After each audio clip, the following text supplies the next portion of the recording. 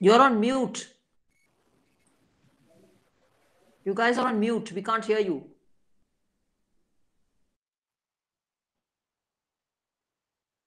अब हो गया Can you hear us now? Yes. All right. Let me start over. Uh, a very good afternoon to everyone. It gives me immense pleasure to welcome uh, everybody uh, this afternoon for this lecture. We have the great pleasure of having with us Professor Indivar Kamtekar from Center for Historical Studies, Jawaharlal Nehru University. And uh, he's going to speak to us today on the subject of the differential impact of the Second World War on India. Uh, very warm welcome to you, sir. Uh, we know that the Second World War was undoubtedly the most important episode or event in the history of the 20th century, and I can say till now. And uh, the Second World War has been studied uh, uh, for its implications, consequences, causes, processes, etc., etc., uh, in all parts of the world, but especially in the Western countries, where its impact was more than its impact in other parts of the world. One of the questions that arises about the world wars, especially the Second World War, was in what sense can it be described or should it be described as a world war?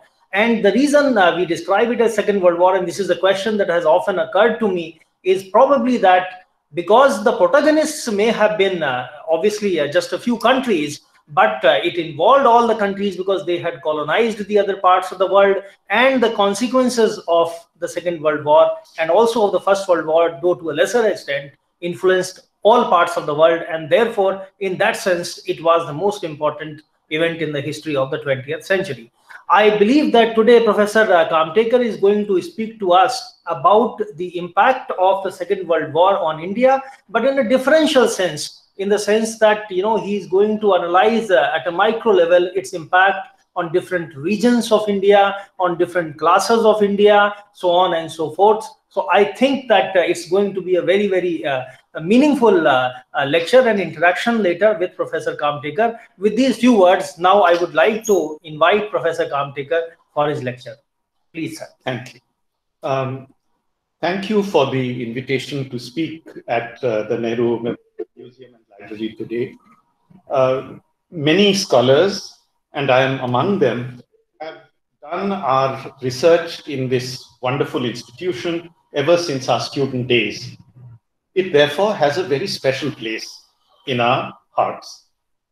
Let me also thank all of you who have taken the trouble to come here to attend uh, physically or online. I'm sorry we are a little late in starting.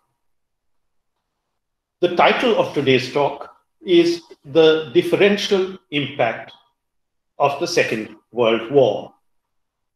But the argument which I'm going to go through, which I'm going to develop, also seeks to promote an approach to modern Indian history. Now, nationalism is undoubtedly a contributor to, um, to uh, academic historical insight.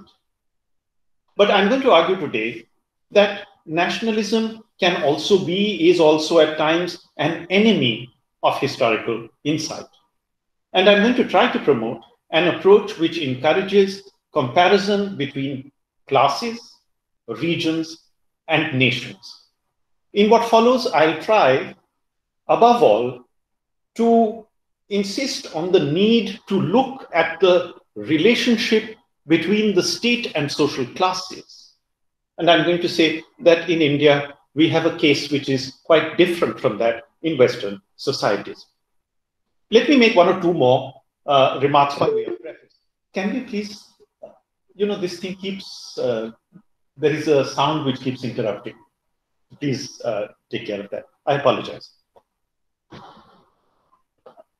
So uh, I just asked that the sound which keeps coming in between, that yeah. it be muted, you know, there is. Yes, yes.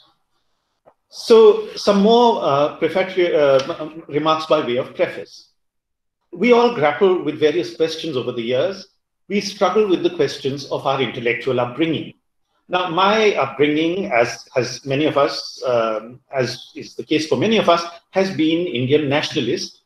And I'm going to ask the question what are the things which, using a national category of analysis, closes our eyes to? And I'm going to say that one of the marks of nationalism is an underplaying of comparison within the nation and comparison with other nations. In fact, I'm going to make the further claim that sometimes using the nation as a category confuses our understanding. The other question which underlies this rather detailed analysis is what does colonialism mean apart from rule by foreigners? What kind of power is late colonial state power? Now, it's true that it's exploitative, but can one go beyond merely saying that it is exploitative? What else can one say about the nature of colonial, uh, late colonial state power? So we have um, what I'm saying is that the question of is colonialism good or bad is has been done to death.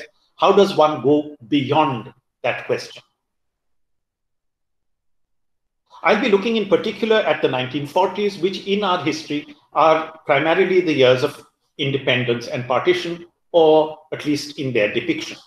How else does one look at that period? Usually, these are years seen in terms of constitutional negotiation, maneuvers of politicians, mass mobilizations, and we have a lot of social history of partition. I'm going to propose another way, plus there'll be an empirical finding which I'm suggesting should be part of our textbooks. So these are some of the areas. Much of modern history has been written under the influence of imperialism and nationalism. These are intoxicants, drugs of a kind, which are often successful in instilling solidarity and pride, but they often also blur our vision in ways easy to identify but more difficult to rectify. Two methodological moves proposed today and attempted in combination aim to bring into focus some blurred issues within modern Indian history. The first move is a comparison between the activities of state power in India and in Britain during World War II. The second move I'm going to make is a comparison between the trajectories, fortunes, misfortunes over the same period of time of social classes and regions within India. So we are going to look at Indian history from above the category of nation through international comparison, through below the category of nation by comparing regions and classes. And that way we will see a view which the category of nation, I'm saying, obstructs, as if this is an obstruction to our insight. There's a shift of emphasis here. Um, there was an official history of the Indian Armed Forces in World War II, but by and large, after that, historians have dealt with independence and partition. there has been some uh, interest in World War II, more recently with the books by Yasmin Khan, Srinath Raghavan, and others. Nevertheless, the study of the period is heavily weighted towards independence and partition. In history writing, in historiography, it is as if the drums of decolonization and independence proved louder than the drums of war. When economic and social history are brought into the picture, uh, they provide a kind of backing or backdrop to dramatic political events. History books have mentioned the strains the war imposed on India, inflation, shortages, the Bengal famine of 1943. They've lamented about the suffering of the which accompanied the partition of Punjab in 1947. The Advanced History of India by R.C. Majumdar, which was a standard textbook once, has a, has a section titled The Hard Lot of the Common People. And this more or less sums up that approach. If you um, fast forward from there to the New Cambridge History of India, that takes the line, I quote, that the second, I quote, the Second World War had a devastating effect on economic life in India, unquote. Today, I'm going to qualify uh, that picture, especially by presenting an untapped vein of data about rural India, but there's going to be a more radical shift of emphasis. I'm going to analyze the 1940s in India, not in terms of political negotiation or mass mobilization, but in terms of enhanced resource extraction. Enhanced resource extraction. I will explain uh, how this is a kind of analytical knife with which we can cut into this subject. The starting premise is that states inaugurate wars and then try to make them the business of the people over whom they govern. A modern war, therefore, tests a state not just on the battlefront, but also on the home front. During wartime, a state's appetite, hunger for resources increases. War requires a state to make unusual demands of society and to extract greater resources than usual from it. The extent to which it can do so, the manner in which it operates, can be instructive. It is as if the state's new burst of energy and activity provide a flare of light which enable us to see its features more clearly. It is as if a match is struck and you can see the features of a state. A match in the darkness. Using such a flare of light, we'll ask how were resources mobilized by the colonial state in India during the Second World War? How was the war effort run? What er, results did this entail? By glancing at the conduct of the war in Britain, from where India was ruled, the situation in India comes into sharper focus. Neither Britain nor India was actually invaded. Well, Northeast India was to some degree, but the two states, the colonial state and the national state in Britain, did not fight in the same way. And I'm going to argue that this war dance, so to say, of the colonial state tells us a great deal about the character of state power in India. What follows is in two parts. First, I'll discuss over maybe 15 minutes uh, what the state did, what were the activities of the state. And then we'll shift gear and we'll spend the remainder of our time looking at what results the activities of the state had on Indian society. So, first, the state's activities. The Second World War caught the state in India looking in the wrong direction. From the late 19th century, for decades, British defense policy had assumed that if India is attacked, the attackers will be Russian, and the attack would be from the northwest through Afghanistan. But when India was attacked, the attackers were not Russian, they were Japanese. They didn't come from the northwest, they came from the east. They didn't come through Afghanistan, they came through Burma. Although Assam was the only province to be actually invaded, its neighbor Bengal was also severely affected. Many war factories were concentrated in Bengal. Many thousands of troops from Britain, the United States, African countries, Australia, China were stationed there. And at various times, especially when refugees poured in from Burma in 1942, Japanese invasion seemed imminent. So, although only the eastern fringe of India became an active center of operations, the whole country was sucked into the war effort. India wasn't a major battlefield, but India was a major supply base in World War II, contributing heavily with men, materials, and money. Men, materials, money. We look at each of these three in turn. First, manpower. More than 2 million Indian men joined the Indian armed forces during the Second World War. These soldiers served in Africa, the Middle East, Burma, and Europe. Some units became legendary, like the 4th Indian Division. Now, in the literature, especially in the military history, stories about the army are very proudly told as if there is a military band playing in the background. The government of uh, India at the time boasted that the Indian Army was the largest volunteer force in history. How do we look at this? In a strictly legal sense, the men were indeed volunteers who enlisted of their own will, but there is a but. Once a man joined the army, once in uniform, the recruit came under the eye of army doctors. And army doctors are impatient of euphemisms. They talk straight, unlike social scientists many of the time, much of the time. Medical investigations, uh, investigations showed, I'm quoting, that most of the fresh recruits of the Indian Army were underweight and anemic. the army doctors performed what they called feeding experiments on the new recruits. They monitored the weight of a soldier on the standard army ration. After the war, some of these doctors published the results of their research. Uh, they were published by the ICMR, Indian Council of Medical Research. Um, they are housed in the library near the All India Medical Institute. It was found that, quote, irrespective of age or initial weight, every recruit gained 5 to 10 pounds of weight on basic army ration alone within four months of enlistment. And this gain continued at a diminishing rate thereafter. Unquote.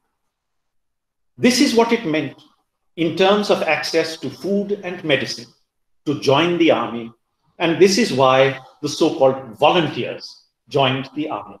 If you multiply 2 million by 5 pounds of weight um, gained by a soldier over four months, that's a lot uh, of weight gain. The malnourished young men who enlisted bore little resemblance to the ideal soldier of the British Indian Army. Ever since the late 19th century, the best Indian soldier was supposed to be a tall and light skinned, fair peasant, wet, wheat eating, healthy, handsome, loyal, simple minded, not too intelligent, strong, and from the northwest of the country. This is an almost nonsensical collection of attributes. And when you have this kind of nonsense, it can be dignified by a almost social sciencey term. They gave it the title, the martial race theory. In peacetime, this theory of recruitment ensured that the Punjabi peasant provided the backbone of the army. In wartime, when the army became fat through its intake of malnourished soldiers, the Punjabi peasant backbone began to give way. The second highest number of recruits came from Madras, which is almost the opposite of Punjab in our Indian imagination. The Madrasis who joined, more than a quarter million of them, were mostly agricultural laborers. So, this is the end of the type of army to which the Raj was accustomed, or at least a major change in it where son followed father into military service and loyalty was assured. Many Punjabi Jat Sikh farmers, families, had a tradition of military service to the British, which went back to the 1850s. The expansion during World War II reduced the offspring of such families as a proportion. This is why the new soldiers seemed less reliable.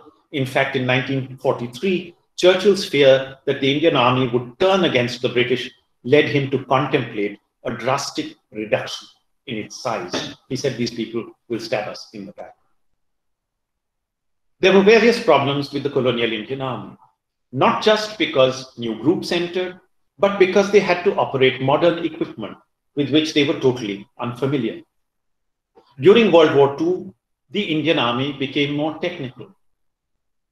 Cavalrymen used to caressing horses were in the Middle East given trucks to mount instead. The number of accidents was large.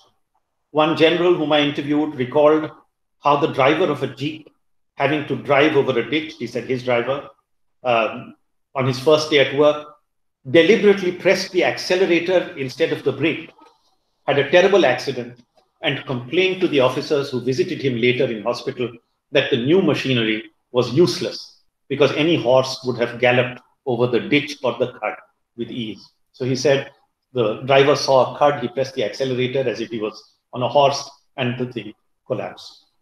And he said, This is the kind of problem we face. Comparison of the Indian army with other armies makes the limitations clearer still. The Indian army multiplied tenfold from 2 lakhs to about 2 million plus. But in Britain, where conscription was introduced, the army multiplied 25 times from 2 lakhs to over 5 million. In America, the army expanded 80 times from about 2 lakhs to about 16 million. How many people died? The Indian army suffered between 30,000 and 40,000 fatal casualties. But about 300,000 British soldiers and another 400,000 Americans died at the same time and these figures are far short of the perhaps over 3 million German, over 7 million uh, Russian military casualties. Moreover, there's another difference between casualties in our society and casualties in uh, British society. The casualties in British society cut across social strata. For example, the eldest son of Anthony Eden, British Foreign Secretary, we would say Foreign Minister, uh, from 1941 to 1944, was killed on the Burma front. Maurice Hallett, who was governor of UP, United Provinces, presided over the annual Police Day parade in Lucknow the day after he was informed that his son had been killed. There is an almost filmy quality to this. Uh, he is told that he doesn't have to preside, and he says, uh, This could be a dialogue from a film. Am I the only man who has lost a son in this war? He then presides, he, a blood vessel bursts, he loses an eye at the time. Even the Viceroy of India gets a telegram uh, to say that his son is seriously wounded, no details. And he is informed in a while that his son's right hand is slightly damaged, but the left hand has been amputated as a result of wounds sustained on the Burma front. So this happens to the person who is in uh, what is Rashtrapati Bhavan now, Viceroy's Palace then. The point I wish to underline is that the Indian upper classes, for whom joining the army was a matter of choice. In Britain, there was conscription. For Indian upper classes, joining the army was a matter of choice and the Indian upper classes were much less vulnerable. Let's now turn to supplies. The Indian Army required and received supplies, guns, food, uniforms, sheets, blankets, medicines, everything an army needs. India's chief industrial contribution was textiles. It was said at one time that India provided the gigantic amount of 1.2 billion yards of cloth per annum, so that it was said that India clothed the Allied armies east of the Suez Canal. While language calling for a great leap forward in production was used in India, actually production in India could not increase very much. And this was because in India, machines were not made. Machines were imported, and because of wartime restrictions on shipping, the ships were being used to carry soldiers, etc. Uh, there was indirect protection, of course, to Indian industry, but it also meant that in India, existing machines could be worked round the clock, but new machines could not be brought in. So production in India didn't increase much. By contrast, British production increased a great deal. By 1943, British production of bullets, tanks, and ships was eight times as large as in the first three months of the war. The number of aircraft produced was 2,800 in 1938, um, just under 8,000 in 1939. It rose then to 20,000, and uh, even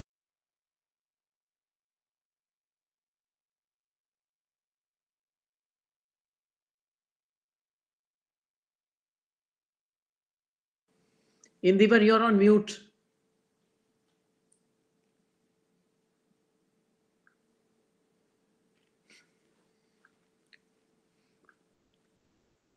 The meeting is muted.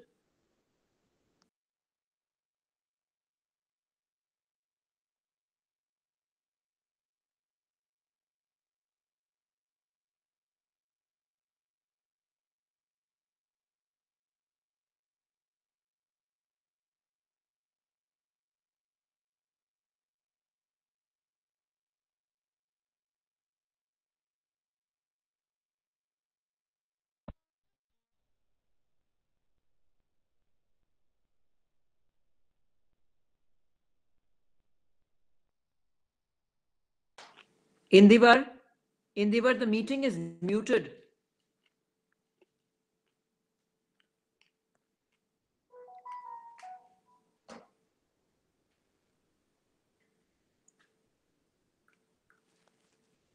to those people able to afford very high prices for them, almost all items of consumption remained easily available in India.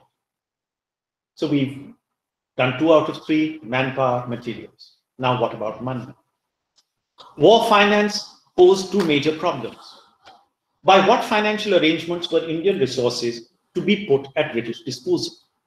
And how were these resources to be raised from Indian society? No doubt the simplest financial arrangement would have been a confiscation of Indian revenues, but the era of Robert Clive was over. A financial agreement reached early in the war divided the costs between the government of India and the British Exchequer. The payments due to India would be made in sterling in London, but they would be credited to an account which would be blocked so as to be unavailable to India for the time being. Thus arose the issue of what were known as the sterling balances.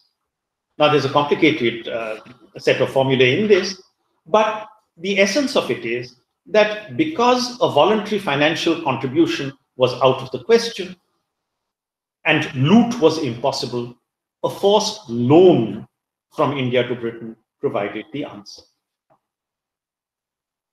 Even this, there were misgivings about.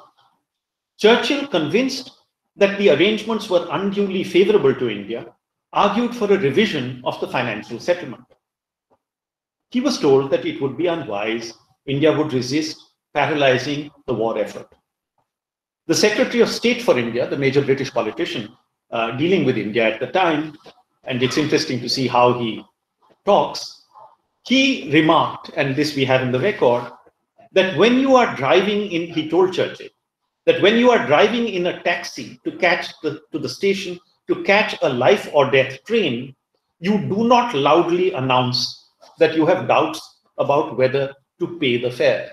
So you don't tell the taxi driver that you're not going to pay. You want to catch your train. And the situation in India was similar.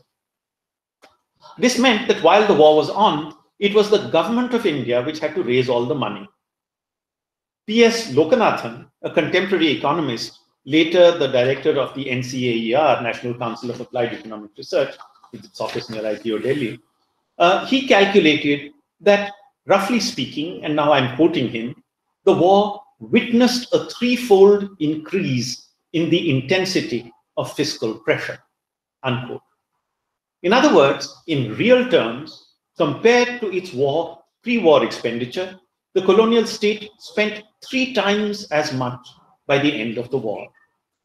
Lokanathan went on to add that this level of public expenditure, I quote, is unprecedented in our economic history. So this is the essence of what I'm talking about. I said that enhanced resource ex extraction provides a kind of analytical knife with which we can cut into this subject. If government of India has to increase taxation or resource extraction um, in the next five years by 300%, we will get a very good idea of the balance of power in our society. So this is unprecedented. This is the flare of light which enables us to see class relations and social relations. How did the British manage in their own country? the means employed by the British state to raise resources from the British people were taxation and borrowing. Taxes rose steeply in Britain. The excess profits tax, 60% at the start of World War II, was raised to 100% in May 1940. 100% tax on profits means basically confiscation of all excess profits. Moreover, lending money to the state in its hour of peril through savings certificates, post office savings bank, defense bonds, and the like was projected as a patriotic virtue. The amounts borrowed were substantial, about 3,000 million pounds uh, annually, which is very roughly the amount of annual taxation in Britain. So, through loans from the public, the British state was able to get an amount equal to its taxation of the British pound. And similar expedients were tried in India. Levels of taxation were raised, saving schemes were announced by the colonial state. But Indians who could afford to pay high taxes proved unwilling to do so. The Indian public showed no urge whatever to contribute to the state's finances. Why should it? On the contrary, there was actually a withdrawal of savings in post office savings banks. And this is important because the banking sector was not really developed at that time. So yeah. accounts were very often in the post office bank.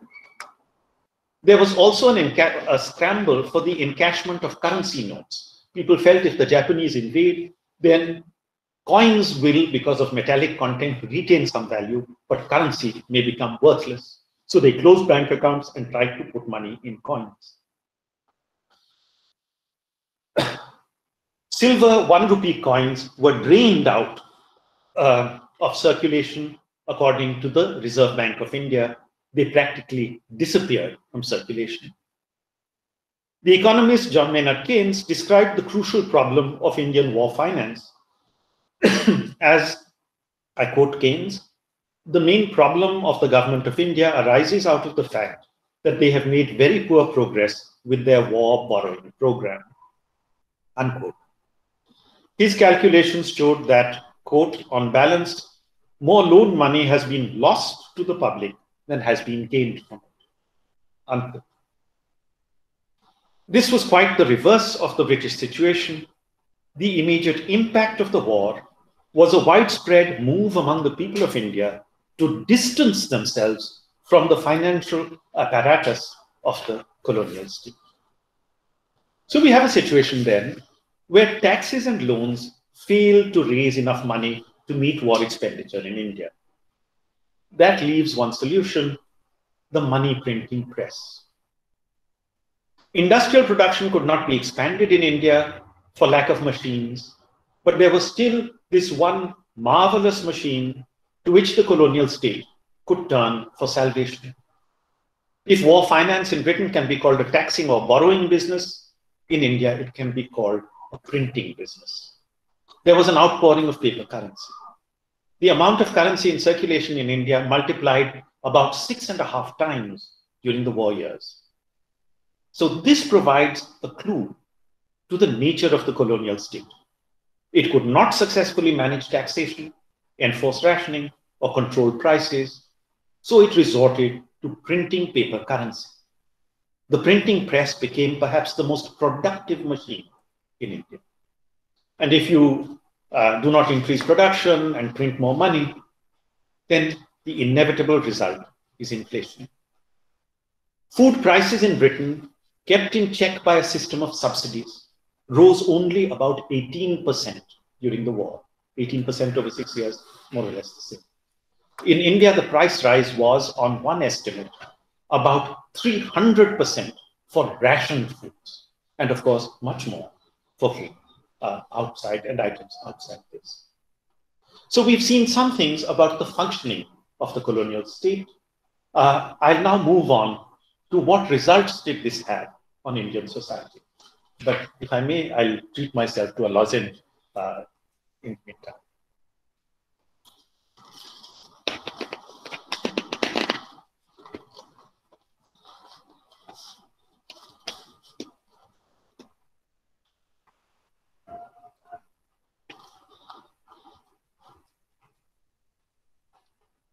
Social results.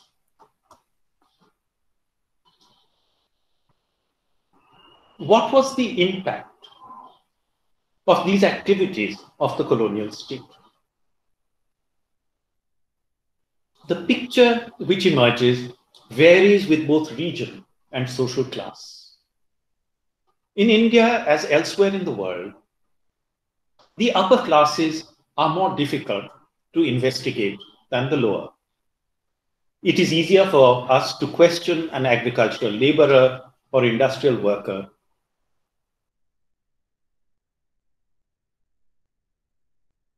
of the many things which wealth, the ability to evade scrutiny is one.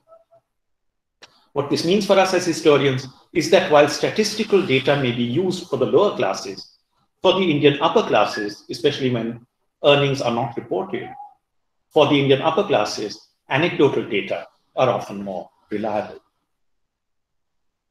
I'll now go through various Indian social classes to see what happened to them as a result of war. Let's start with the business class. The war gave a boost to Indian business. Before the war, there had been a slump during the depression of the 1930s, and stocks, for example, of textiles had accumulated with manufacturers. After the war began, there were orders from government and stocks were quickly sold. The Income Tax Investigation Commission set up after the war said that, quote, the conditions created by the war brought about a serious breakdown in the working of the income tax department. Unquote. They basically couldn't track the money generated. One highly successful business at this time was DCM, Delhi Cloth and General Mills, run by Lala Shriram. There is an authorized biography of Lala Shriram which describes the prosperity of the war years. And while it proclaims the integrity of the DCM group, it describes others in harsh tones. It talks often about widespread hoarding and black marketing. Uh, and it remarks that in 1943, in conditions amounting to a cloth famine, the textile industry in India officially declared the largest profits of its entire career. Moreover, it says that the general impression was that the undisclosed net profits were three or four times the figures disclosed. There was a wave of enthusiasm and enterprise among industrialists of various kinds. Industry did well because imports were curtailed by a lack of shipping and because Japan became an enemy and because large purchases were made on government account. In Bombay, a businessman invited to address a symposium of the Indian Sociological Society, this is in the early 50s, declared frankly, I'm quoting him, I am a businessman of the 40s and I have seen nothing but prosperity in business. Unquote. The situation, as we have remarked in Britain, was very different. Profits could not be of the same order uh, because the British businessman oper operating in a more formally organized economy could not evade taxes so easily, uh, and excess profits tax was 100%. There was a black market in Britain, but there is agreement among historians that the black market was never very large, and to quote um, a standard work, uh, the black market was never very large, and people did not treat the war as an opportunity for a great display of dishonesty. Unquote. In India, so we see a contrast. In India, production increases slightly, while profits increase a great deal. In Britain, production increases a great deal, but profits don't increase much. Let's move from the business class to India's peasantry. And here there may be a kind of surprise in what you hear. For much of India's peasantry, the Second World War meant the tremendous relief of awakening from the nightmare of the 1930s, which had been dominated by the Great Depression. During the Depression, prices of agricultural products had fallen catastrophically, and peasant earnings fell with them. But in the 1940s, agricultural prices rose, and with them rose the spirit of much of the countryside. Inflation lightened the burden of debts money rents, and land revenue. The same amount of produce in the early 1940s fetched two or three times what it would have earned five years earlier. Old demands remained fixed in money terms, uh, and they could therefore be met in this inflationary situation by selling a half or a third of the produce previously required to meet them. The problem of rural debt, rural indebtedness, about which there were many government laws, much attention, was, according to the RBI reports, quote, relegated to the background almost to the point of being forgotten by August 1943. The economist P.J. Thomas of Madras University wrote a pamphlet called uh, Wartime Prices. P.J. Thomas has also been referred to as the Malayali Keynes. So we have the British Keynes and the Malayali Keynes. Uh, he wrote, quote, in India, owing to the wide prevalence of small scale production, the number of producers is large, and the advantage of high prices is reaped by a very great number of persons. Unquote. According to him, it was, quote, certain that the cultivating classes have obtained larger net income than before. Unquote. Such opportunities came to them only once in a blue moon. There's another kind of evidence for this. We can see some of these processes unfolding at the level of one village through the observant eyes of M.N. Srinivas, perhaps the most distinguished Indian sociologist of his generation. In his celebrated book, The Remembered Village, Srinivas described the Mysore village in which he lived during his 1948 fieldwork. Chatting with Srinivas, I'm quoting him now, several villagers contrasted their present prosperity with the poverty of the interwar years, 1918 to 1939. Unquote. Rice was very profitable, so was sugarcane. Villagers made gains mainly from sale of their produce on the black market, where prices were very high. Controls existed not to be obeyed, but to be evaded. Every villager with a surplus, according to Srinivas, had sold as much as he could on the black market. And Srinivas concluded, I'm quoting him again, the increased prices for agricultural products since World War II were a crucial factor in the economic betterment of the village. Unquote. It's as if, in various ways, the black market brought color into rural life. Villagers traveled to the towns more often. Sons were packed off, not daughters, sons were packed off for an education in urban areas. Urban contacts changed rural values. Earlier, surplus cash among the rural rich would have been invested in jewelry and land. After the war, some of the cash accumulated in wartime provided the capital for new enterprises like shops and rice mills.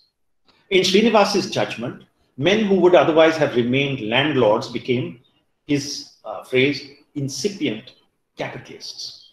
So what he's saying, in effect, is that the war changes not just the rich villagers' income, but the outlook also. Perhaps the best view of such changes is from the citadel of colonial state power, the province of Punjab. Though far away from the front, Punjab was closely linked to war activities. It was, as we know, the traditional recruiting ground of the army, employment soldiers who sent remittances home. It was also a food grain surplus producer and it sold much wheat. Malcolm Darling, an Indian ICS officer, Indian civil service officer of Punjab Cadre, who authored classic works on the Punjab peasantry, looked at their lives with a keen, keen and trained eye. One sign of the new prosperity which he commented upon was the much larger number of silver ornaments which women were wearing.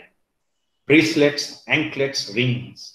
He notices peasant women are wearing much more. Less ostentatiously, prosperity was enjoyed by sipping tea.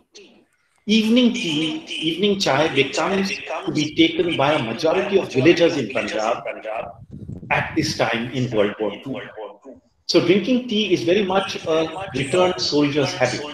It comes into Punjab substantially with World War One. It's uh, soldiers are given tea as part of their ration. Then this is a habit or other which continues when they go back, and it spreads through the recruiting areas because of World War Malcolm Darling concluded that, I quote, on the purely material side, there were many changes for the better. The 300% rise in prices, which set in sharply in 1942, had put more cash into the peasant's pocket than had ever been there before. And he had wisely used it to pay his debts and redeem his land. For the first time for at least two generations, debt was no longer a millstone round the peasant's neck.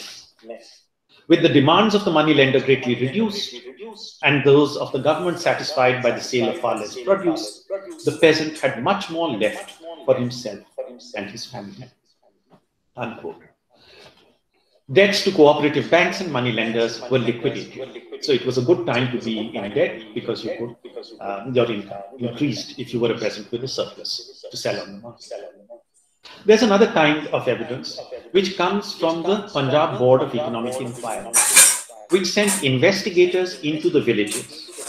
One of them, who went to Ludhiana district, Ram Swarup Nakra is his name, he chose different words to this effect. He called the war a boon for people in general and a windfall for cultivators. And he also stated categorically in the report that, quote, on the whole, the cultivator in this tract was much better off financially than he ever was before, unquote. But what he did, which is interesting for us, is he corrected the current Punjabi sayings in the villages, the kahawats, at the time, And we can look on them, we can call them perhaps the proverbs of prosperity. So, what were people saying? One of them was all are enabled to get their bread. Sare roti khan lag gaye ne. Then there is another saying in the villages of Ludhiana, he reports. It's a saying or a sneer. Even servants have put on clean clothes. Nauk de chitte kapde. Another saying, the war and the high prices have brought about equality. जंग ते महंगाई सारे एक हो जाए हो गए So he collected these sayings from the villages. Contemporary assessments of Punjab portray the war almost as a fairy tale time when more gold and silver were born and there was much more ghee and tea and so on and so forth. So we've discussed the peasantry. What about the Indian middle class? Here the picture becomes a little more complicated and it varies above all with age. Indian middle class experience of the war was mixed. For the young, life became easier, middle class jobs suddenly became available in plenty. At first, unemployed young men looked for jobs, then employers looked for people to employ. Recruitment rules had to be relaxed. College hostels where many young men had been condemned to education because of lack of employment, the hostels began to go empty. In North Indian parlance, we would say there was a pomegranate for each patient, ek anar, ek bimar, unprecedented situation. Everybody is taken care of. Middle class youths are now recruited by the army or in the mushrooming departments handling civil and military supplies. According to the reports of the Planning Commission of the 1950s, the problem of educated unemployment was solved for over a decade till it reappeared about 1953. If you were young and educated, you got a job. But for those already employed, the war meant a falling standard of living. Inflation hurts, wounds the recipients of a fixed income.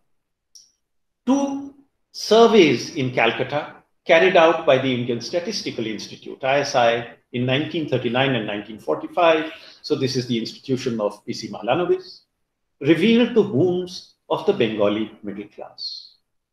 How would you judge these? Well, perhaps by something like the price of fish.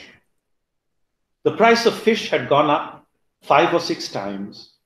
The consumption of milk was halved, and the consumption of eggs had fallen to a quarter of the pre war figure.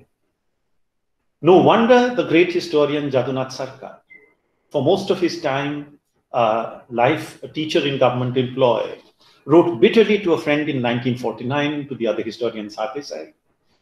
Uh, this is his letter written when he was 78 years old.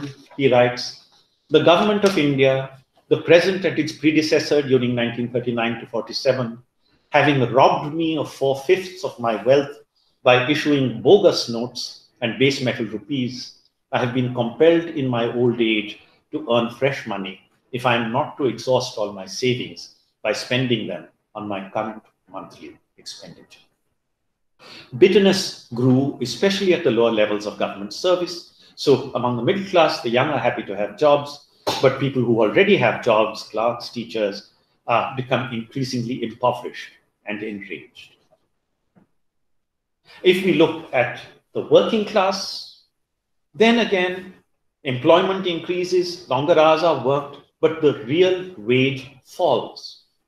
There is a Harvard PhD thesis on this subject by S.A. Palekar on the period 1939 to 50.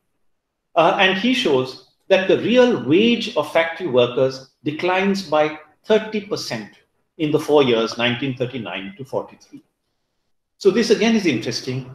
The highest industrial profits coincide with the lowest real wages, both occur in 1943. Highest profits, lowest wages. This was again contrary to the trend in Britain, where Ernest Bevin, the leading trade unionist, became Minister of Labor with a seat in the cabinet. During World War II, the wages of labor in Britain rose by 80%, while the cost of living increased by only 31%. While the condition of the British working class improved, the condition of the Indian working class deteriorated as it struggled unsuccessfully to retain the pre-war standard of living that it only regained by about 1949 on the Palekar estimate. There were rapturous descriptions which I quoted about the prosperity of Punjab. Why? One reason is that agricultural laborers were at this time relatively few in Punjab. The Agricultural Labor Inquiry of uh, Committee of 5051, 1950-51, covered the whole of India. It was actually the first detailed survey uh, of agricultural labor in India. And it revealed that on average, 85% of the wage of an agricultural laborer is spent on food, 85% of income on food, and yet in 96% of the cases, this provides less than the minimum number of calories which are nutritionally adequate. Commenting on this, the economist V.M. Dandekar of the Pune Institute, he said, what is poverty if not this? That your income goes on food and even that doesn't give you the minimum number of calories. Over most of India during this period, prices of grain rose faster than incomes, further distressing this already impoverished class. If 1939 is taken as base year, then um, the index of uh, wages in Madras at the end of the 1940s is about 300. Uh, and the index of food prices is over 400. So food prices are increasing much faster than uh, wages. And that means, in effect, that hungry agricultural laborers, people who are already hungry, don't have enough nutrition, become still hungrier during the war. This process of impoverishment reached its height in Bengal, which displayed during the Great Bengal famine of 43 the country's most gruesome misery. Food in Bengal meant primarily rice. Rice was, even for many people in rural Bengal, an item to be purchased. The price of rice rose phenomenally, becoming too high for the poor to afford. Agricultural laborers were by far the worst sufferers in Bengal, but fishermen, transport workers, rural artisans were also affected. Peasants, large or small, tended to escape. the famine began in the rural areas early 1943. By July 1943, starvation in the districts was on the increase. Destitute people boarded trains for Calcutta, hoping for food. Military personnel had to take over the daily removal of corpses from the streets. Then came epidemics. Malaria killed the most, followed by cholera, dysentery, diarrhea, enteric fevers, and smallpox more people were killed by disease than outright starvation. In sheer scale, the tragedy of the Bengal famine bears comparison with any other of World War II, and it dwarfs other incidents in India, including the partition riots. The number of Bengalis who died was perhaps half the number of Jews killed in Hitler's so called final solution. It lends another perspective to note that the dead outnumbered the entire Indian industrial working class. In this period, there were about, factory labor was about uh, 2 million perhaps. And while about 30,000 Indian soldiers died during World War II, the number of casualties in the Bengal famine was 100 times this number. So these are also, in a way, war casualties, but 100 people die due to famine compared to every soldier who dies on the battlefield. To understand this in contrast, we note that British social history followed an opposite trajectory. The British government initially expected that food rationing, long hours of work, and the general worries of war would damage public health. Exactly the opposite happened. This was one of the surprises of the war. Aware that a healthy workforce was important to the war effort, the state, what, the state watched over its health anxiously. Food supplies were controlled as never before. Prices remained stable relatively. The rise in the cost of living was low. Food was abundantly available to farm laborers and industrial workers who were increasing their earnings with very positive results. The year 1942 saw a decrease in major infections and of record breaking, they say, in vital statistics like maternal and infant mortality rates, the British, the proportion of stillbirths the death rate among civilians are the lowest ever recorded in English history. The British Food Survey Committee of the mid 1950s, uh, in its report, said that, I quote, from a nutritional point of view, the working class diet was probably more satisfactory in 1944 than at any time before the war. Unquote. So while starvation deaths occurred in India, the less privileged classes in Britain improved their quality of life. The richer classes in Britain were at the same time more heavily taxed. Rationing, which covered the whole country and used the slogan of equal shares for all, became a symbol of the state's fair play. According to Norman Wright, the chairman of the British National Food Survey Committee, the controlled economy with full employment and a strict rationing of basic foods led to, I'm quoting him, a great reduction in group differences of all kinds. Unquote. Remarking that most people were better off, the historian A.J.P. Taylor reasoned, quoting, quoting him, broadly speaking, the entire population settled at the standard of the skilled artisan. This was a come down for the wealthier classes. It was security for the masses, such as they had not known before. Unquote. In British history, there has been a debate on the issue of what they call a leveling of class. The debate is has it occurred, to what extent, and for how long? If the distribution of property is seen as a marker of class, then change is slight. If income is considered, then the change is greater. And if everyday consumption is taken as an index, then leveling is much more in evidence. But I want to stress that such a debate about the leveling of class is unthinkable in Indian history because Indian society has moved in a different direction. In India, the scales of starvation and prosperity were both obvious, and both scales were new. Between classes, chasms, gulfs had opened in the levels of food consumption. Let me draw towards a close and tie together the strands of this argument. There are various analyses of the 1940s, and indeed I have analyzed them in different ways. But what I've done today is to try to systematically investigate the differential impact of the war. Punjab, Bengal, business class, agricultural labor, peasantry, etc. Among regions as among social classes, the war in India produced both victims and beneficiaries. Some people starved, other people ate more than they had ever done. It's fairly accurate to claim that Punjab prospered, Bengal suffered. The wartime economic boom, especially this agrarian boom in Punjab, is neglected in historiography. I've emphasized it in today's lecture. This economic boom was politically relevant, I think, providing in the short run some bags of cement, so to say, to strengthen the colonial state. There is ample evidence for it, as the descriptions I quoted indicate. But why has it been neglected? Perhaps because there was awareness of the Bengal famine and people modulated their behavior accordingly, quietly enjoying the prosperity of Punjab, not announcing it. And then we had the partition and partition riots. That was a tragedy about which there is a lot of writing. So the prosperity of Punjab, which I've highlighted today, was engulfed in history writing by misery in India elsewhere at the same time and by Punjab's misery a few years later. Two shadows fell on it and made us forget it. By contrast, the tragedy of the Bengal famine was publicized. Here was conclusive proof of the evils of imperialism. While the starvation of Bengal validated the messages of Indian nationalism. The prosperity of Punjab was, in a nationalist way of thinking, an inconvenience to be overlooked. Arguments over causes and numbers have persisted over the years.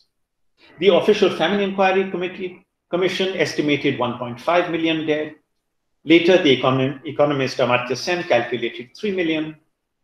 And there's a subsequent study that says 2.1 million would be more accurate. So the essential point is that despite all this statistical fanfare, the number of dead can easily be wrong by as much as 1 million. And I'm putting to you, that this is the aspect we need to think about. The, so little was known about the victims of the Bengal famine.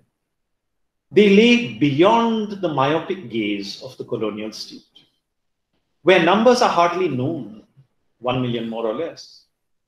Where numbers are hardly known, voices are unlikely to be heard. If we judge the significance of an event by the mortality involved, then the Bengal famine must unquestionably rank as the most important event of the 1940s in India. But if we judge by its impact on state power, the famine doesn't matter so much at all. Why? Because those who died were mainly agricultural laborers. The real victims of the Bengal famine were the rural poor. In a situation where franchise was based on property and education, they were not on the provincial voters list. So if they were on the provincial voters list, you would not be asking, are the numbers dead 2 million or 3 million? Although many people died in the streets in Calcutta, few actually belonged to the city. City dwellers were safe covered by various food schemes. It was the rural poor who came to the city to die. For all their misery, they remained marginal. The dead were not articulate actors in the theaters of modern politics. The great Calcutta killing of 1946, when about 5,000 people were slaughtered, threatened the Bengali Bhadralok, and a furor followed. But the children of the Bengal Renaissance were unharmed by the Bengal famine. If a beggar died on a doorstep, it was no doubt a terrible thing but it is an essential part of the upbringing of the Indian middle and upper classes to learn to ignore at close quarters the clamor of the destitute. The Great Bengal famine was a colossal human tragedy, but cynically, no cause for political panic. Those who died in the Bengal famine could not even be counted properly because they counted for so little. So, I'm saying that India did not suffer during World War II, although many Indians did suffer. In reaching this conclusion, there has been methodologically an underlying premise. So, the Bengali agricultural laborer is as much an Indian as the Punjabi peasant who's eating more. There is much more to Indian history than meets the imperialist or nationalist eye. A national category can easily generate much outrage. Regional and class analysis, as well as international comparison, can sometimes generate more insight. International comparisons are instructive. If not at first glance, they help at the second. Wars evoke among allies the rhetoric of a common effort what I've tried to do is to probe beneath the words, the rhetoric, and the superficially similar enhancements of state power into the content of words like war effort and rationing. The rulers of the state in London and Delhi shared the same language, but the two states function in utterly different ways. As colonial politics are often alleged to be molded by British political culture, the distinctions are important to recognize and reiterate. And in times when other words, words like economic planning, privatization, globalization, are bandied about, the distinctions are relevant to remember. Just as rationing can mean bacon in one society and rice in another society, the point is that similar vocabularies can conceal different realities. The thread running through this entire talk has been the stark contrast during World War II between the war effort of the state in Britain and the colonial state in India. Now, no doubt aspects of this can be qualified. I'm suggesting more insight is gained by the contrast. The contrast clarifies two different types of relationship between the state and social classes. And here is where I'm trying to go beyond the idea that colonial rule is good or bad. The claims that colonial rule was civilizing and good or the cries that it was exploitative and cruel leave something unsaid. And that is what we are going to clarify. The state in Britain was able to command men from all sections of British society, including its upper echelons, to join the army. The colonial state could not compel men to join the army, but attracted some of them by offering economic benefits. As far as war materials went, Britain expanded her industrial production. In India, where production could be expanded little, the requirements of war were met mainly by constricting civilian consumption. Although production expanded, British consumption was also curbed by an effective system of rationing, which included the upper classes. Consumption in India was diminished by a rise in prices, which left the upper classes unscathed, unharmed. British war expenditure was financed by taxation. Indian war expenditure was financed by printing paper, which led to inflation. Prices remained stable in Britain. In India, they increased more than threefold. Such different state activities produced startlingly difficult social results. There occurred some leveling of British society, but the war widened the cleavages within Indian society. in Britain, war rationing brought about a greater equality in the consumption of food and a definite improvement in nutrition. In India, even as the more prosperous sections of the peasantry gained from the rise in agricultural prices, and the profits of industrialists flowed like water through the tax net. About 3 million people died in the Bengal famine. During the Brit Second World War, the British upper classes were forced to send their children to the battlefront, to curb their own consumption, and to contribute large amounts to the national treasury. At the same time, desperate though it was for resources, brutal though it was to the Indian lower classes, the behavior of the colonial state towards the Indian upper classes remained comparatively gentle. The Indian upper classes could not be conscripted, their consumption could not easily be curtailed, their profits could not effectively be taxed. In India, few sacrifices were required from the powerful social classes. On the contrary, as we've seen, very substantial sections of Indian society benefited very substantially.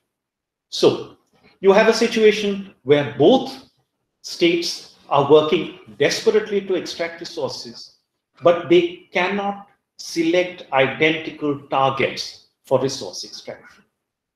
Faced with the emergency of war, the British state squeezed the British upper classes, whereas the colonial state starved the Indian lower classes. Moreover, in Britain, a successful war effort required the state to satisfy the sectional interest of the British lower classes in India, it required the state to satisfy the sectional interest of the Indian upper classes.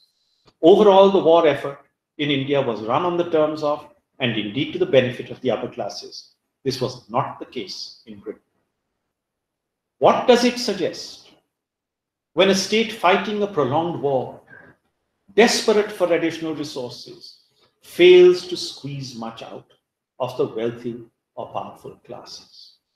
And here comes a theoretical formulation. A relationship of power between the state and social classes is revealed with unusual clarity in such a case.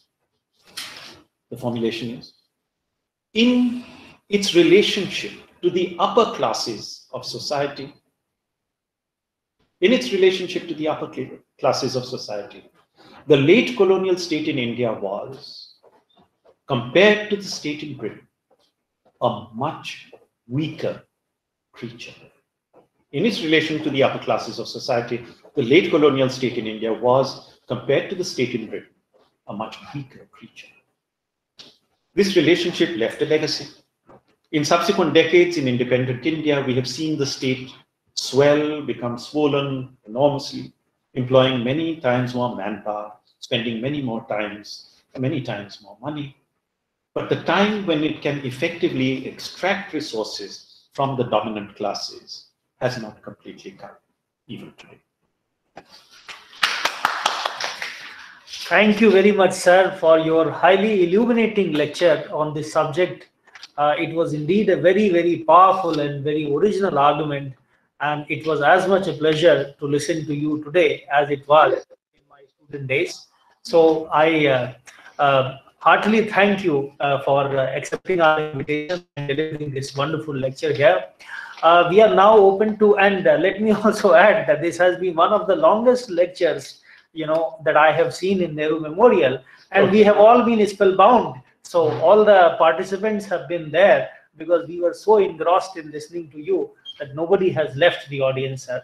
So Well, thank you. I'm this is a measure. This is a measure of uh, the interest that everybody has in this uh, uh, lecture. Um, we have uh, some time for uh, some brief questions and comments. Please go ahead.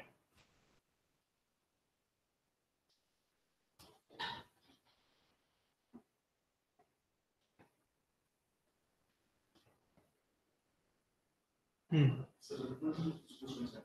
Yeah. So, is there some problem?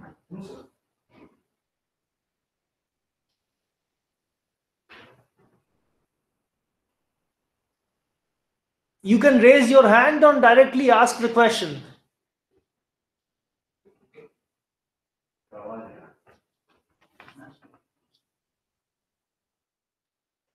Looks like there is some problem with your uh, mic or something.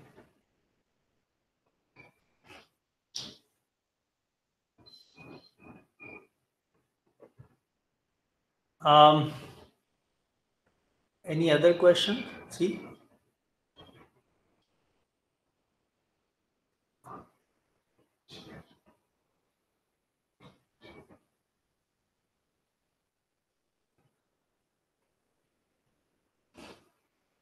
Hmm. Mr. Mathri Prasad is trying to ask. Looks like there is some problem. Uh, I think we will take up the questions from the audience later. I have some uh, brief uh, questions of my own, sir. Uh, in the meantime, we can take them up probably. As I said, that it's a very, very powerful and original argument with detailed evidence that you have given uh, to us here, sir. Uh, and the point that you raise is that uh, the essential point that I gathered that you make in the course of your lecture is that actually the binaries of uh, colonialism versus nationalism cannot really uh, adequately uh, sort of explain uh, the differential impact of the Second World War, one between India and Britain, and two between different regions of India and different classes of India, the upper classes versus the lower classes, you know, the, the rural poor versus urban poor, etc., etc. And uh, I certainly completely agree with you on this point. However, the question that arises out of this, to my mind, uh, is this, sir. Uh, was it not uh, intrinsic to the very nature of colonial power in India that since it was not uh, as organic a power, obviously the power of the state in India, as it was in Britain, where it could successfully sort of, you know, uh, uh, recruit the upper classes, where the sons of uh, prime ministers, viceroys, and, and other such important people could suffer. Obviously, because it was a colonial power in India, it would have been impossible for them, except at the cost of jeopardizing their alliances with the elite in India, to demand that level of sacrifice from the upper classes. Wasn't it natural that the upper classes would have benefited under any circumstances in that kind of a situation? And this was something that was bound to happen, no matter what the British policy, uh, you know, tried to uh, do in India. And second, uh, obviously, the the thing is, you raised that very important question about how the nationalist discourse in India has uh, painted uh, the Second World War's impact on India in purely negative terms, and especially the Bengal famine, because it was such a tragedy, has been highlighted and emphasized uh, by everybody, by uh, by uh, the nationalist leaders, historians, and even economists like uh, Amartya Sen, whose career, of course, uh, you know, uh, grew out of uh, his work on uh, on this subject. So uh, uh, that being there, but isn't it uh, also true that the prosperity that happened, uh, that came to some parts of India, like you give the example of Punjab and Mysore, which provided large recruiting grounds for the soldiers who obviously, you know, came back and they brought some money with them. And obviously, uh, there was a certain rural prosperity in these parts. But wouldn't we say that this rural prosperity obviously was nothing as compared to the tragedy of the death of large numbers of people in bengal so probably it's very natural that you know the the, the death of the untimely death in famine of large numbers of people would get more highlighted, whether it is nationalist discourse or any other discourse. I mean, it seems like a natural sort of for any historian to to emphasize. And thirdly, some uh, very small things here, of course. Uh, you have given the example of how so many soldiers in India, when they were recruited, they were anemic and they were underweight. So far as I remember, uh, that uh, in, in, in the case of the Second World War, certainly, but also in the case of the First World War, even in Europe, towards the later stages, a very large proportion of the soldiers who were recruited uh, in the European countries, uh, they also suffered from these problems. Of course, because there was a point beyond which you had to sort of recruit the less desirable material as soldiers. So this was this is just a you know a, a side uh, sort of point that I wanted to make, sir. Would you be kind Uh, enough well, to? uh, well, there's a substantial set of points, so I'll react to them, and maybe the maybe what- if there is a tech problem, it will be solved in the yes, course sir. of Yes, sir. uh, in the course of my reply. Um, and yes, you know, the recruitment in the British Army has often been from the urban areas. So it's uh, not been the kind of rural recruitment which has been characteristic of the Indian Army. But you've said that this was how it was bound to happen. And let me take that as a success of my argument that it seems natural once it is said.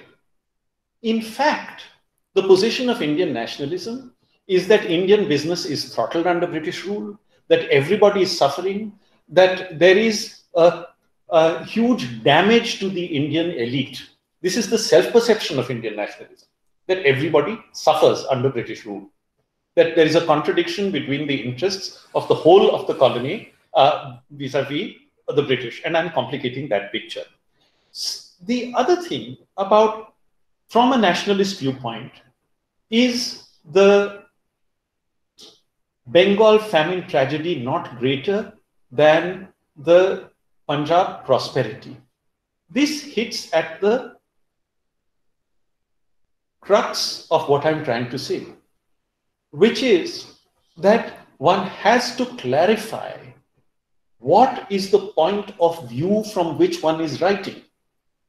There is a, if you look at it from the point of view of the peasantry of Punjab, which is substantial, then this is not a time of tragedy.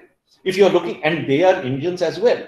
So I'm saying, you know, you can call us whatever, uh, and I'm making the further claim. So in analyzing India, I'm putting on the table from whose point of view are you speaking? If you're speaking from the point of view of the Bengal agricultural laborer, it is a tragedy. If you're speaking from the point of view of the uh, Punjab peasant selling uh, grain, then it is a time of prosperity. Who is to decide who is Indian and who is not?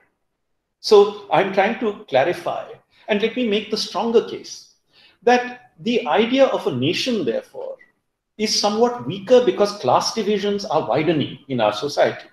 So if you're looking at a conscripted society, then war can be a very powerful nationalizing influence because everybody, after all, stands a risk of being killed in British society. So that is bringing their society together in a way in which the colonial society is being divided. Now, again, uh, let me rephrase. Would the colonial state, wasn't it natural for the colonial state to mobilize in this way? You know, one can put the same question in a different way, that the two cases are not identical. But one can ask the question in this way that how can a state run a successful war effort? And World War II is the biggest war in our history in the 20th century. It is six years. Uh, so nothing, no war with Pakistan, China is comparable in terms of duration, and intensity compared to this. How does a state run a war effort without nationalism? One can reformulate the question in this way. And therefore, how is a national state somewhat different from a colonial state? So one can do that kind of reformulation. Um, you know, again, so let me stress this point that the underlying message is awareness about whose point of view are you writing Indian history from? And I'm saying that's an answer. Uh, there is no straight answer to this question because our society is a class society. The British society is held up as an example of a class divided society. I'm saying compared to Indian society, British society is a much more equal society. Ours is much more a class, or caste, whatever you call it, society. We are, and that is our reality, uh, which I think we need to be very alive to in our history writing. The other way of putting the same point is if you ask yourself the question, where would you rather live at this time? Again, there is no straight answer to this because it depends on who you are. If you are rich, then you would much rather live in India because you do not stand a chance of being sent to a battlefront. If you are poor, then you will starve here, but you will be taken care of in British society. So again, the, the thrust of the thing is from whose point of view? Let us put that question on the table. I hope that clarifies to a little degree. Uh, Definitely, sir. I, as I said uh, at the very beginning, uh, you know, it's a very powerful and original argument that you have made that the impact of the Second World War on India differed uh, so vastly from one class to another and from one region to another. And you have adduced so much evidence in the favor of this argument, and I have absolutely no quarrel with it. The only limited point, like I would like to uh, make further, is that, sir, uh, when you talk about uh, the fact that generally the nationalist discourse says that there was a fundamental contradiction between the Indian interest and the British interest, yeah. I mean, the main argument given by the late Professor Bipin Chandra and so many other historians of modern India, uh, I think that that argument uh, does not sort of ignore the fact that in the Second World War, the capitalists and the upper classes, so far as I remember, I would stand corrected, um, so far as I remember, that argument does not exclude uh, the fact that the Second World War benefited uh, the capitalist class, the upper classes in India to a very large extent as compared to the poorer sections of the society. From what I remember, I think that's a general argument that is used for. Uh, uh so this is a minor thing that. in, in fact, you know, again, this is important because the argument in uh, the Bipin Chandra argument is that war causes a loosening of links. That is the phrase he uses between Britain and India, and this is to the benefit of India. Now, to my mind, that is an extraordinary claim when 3 million agricultural laborers have died, yes. which means that without going into it, the interests of India are being equated with the interests of those who are beneficiaries. That is the, the, the crux of, of that. I understand. I understand. That, that's the very well. but there are many. Uh, I understand very well. There are many aspects. Uh, can we move on to questions from the audience now? Any questions, please raise your hand or ask the question directly. I hope the technical snag has been solved now. Uh, oh, yes. Uh, Ratna Sudarshan, yes, thank you very much, Ratna, for that question. Yes, that is the exactly you've written that I believe war ban, bonds were issued and they did not raise much. That is very true. Um, that uh, there was, as Keynes uh, recognized, that there was very little progress with the war borrowing program. These were his words. And um, in Britain, as I said, they were able to raise an amount which matched the amount of, of annual taxation through their borrowing program. So there is this huge difference. Uh, there is another question, sir, which says, what were the reasons behind this differential impact of World War on Bengal and Punjab countryside? After all, why one region faced prosperity, whereas the other famine-like situation from Saurav Kumar Rai? Yes. Again, that is an important and good question. Uh, and again, there would be several reasons. One reason for famine in Bengal is that it is close to the war front. And after the fall of Burma, there is a fear that the Japanese will invade India as well. Uh, if the Japanese can conquer Singapore, the other great colonial port city, then why can they not conquer Calcutta, for example? In a situation where invasion is expected, people will stock extra food. So if one bag of rice is put aside for an emergency, maybe two or three will be kept. Now, as Sen has written, if there, there is not so much of a shortfall in production, but there is a great shortfall in market release. So famine conditions can be created when many people withhold putting stocks on the market. There is hoarding and other things as well. So this is one reason why you have famine conditions created in Bengal. One reason is the fear of um, of the area becoming um, a, a theater of battle. There is another reason, which I try to explain, which is that the vulnerability is really of agricultural labor. Now, agricultural labor at that time is not so prominent in Punjab. That is a later phenomenon. Agricultural labor in this period stretches in its intensity in a belt from South India along the coast to the eastern region.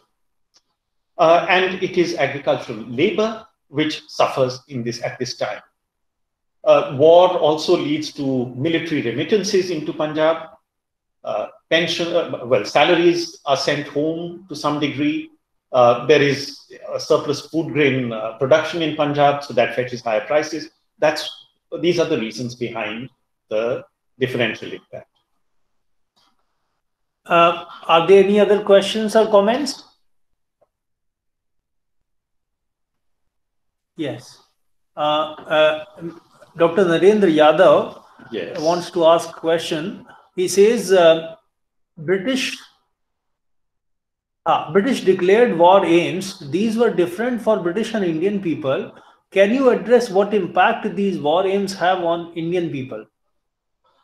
My sense is that the British people uh, have a certain patriotic sentiment, which obviously cannot be there in Indian society uh, when a colonial state is, is involved.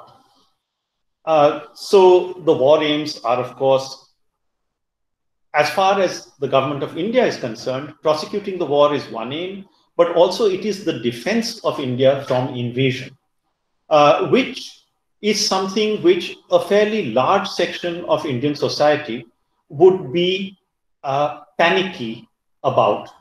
So the the war aims are obviously different but what i wish to underline in all this is that perhaps we make too much of the difference which patriotism uh, can uh, or the the impact of patriotism the call of the Congress during World War II was the slogan was Na ek pai, na ek bhai.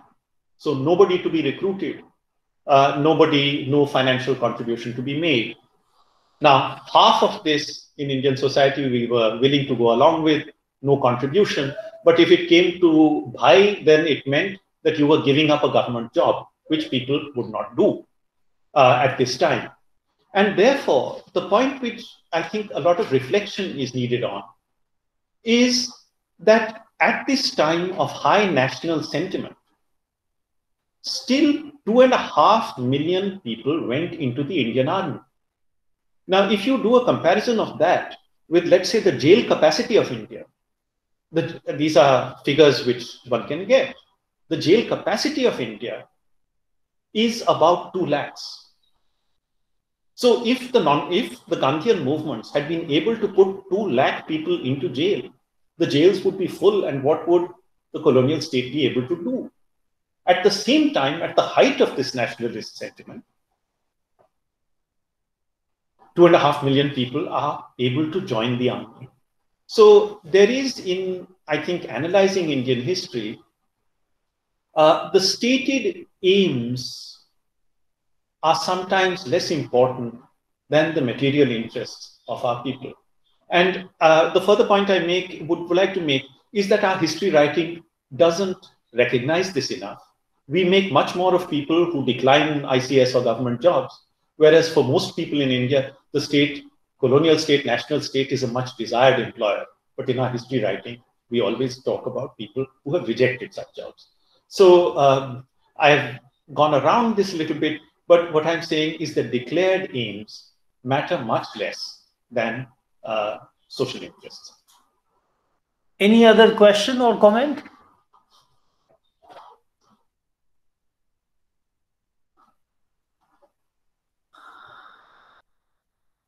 Well, I think we have come to an end of this session. Um, once again, I thank all members of uh, the audience for their very enthusiastic participation in this lecture. And uh, I reiterate that it was a great honor and privilege for us to have Professor Indivar Kamtekar here with us today. And he has given a wonderful lecture, very original, very powerful argument with which uh, we uh, substantially agree. And, and uh, I, I, I sincerely thank him for accepting our invitation and delivering this lecture. And I do hope that uh, he will visit us again, uh, not in very distant future, and speak to us. Thank, Thank you for very much, sir. Thank you for this, and thank you to the audience for attending. Thank you.